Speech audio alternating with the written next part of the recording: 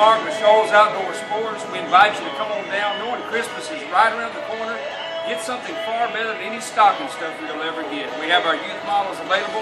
Also, we have go-karts coming up for this Christmas. Come see us and make this